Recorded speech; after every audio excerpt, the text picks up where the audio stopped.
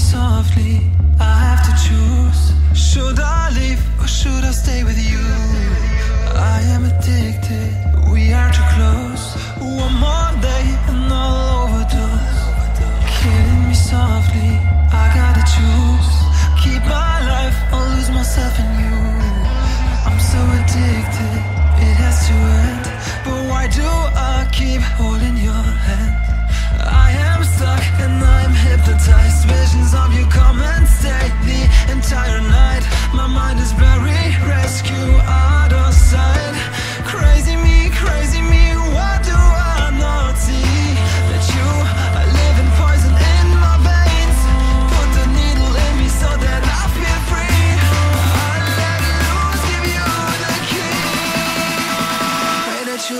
To of me.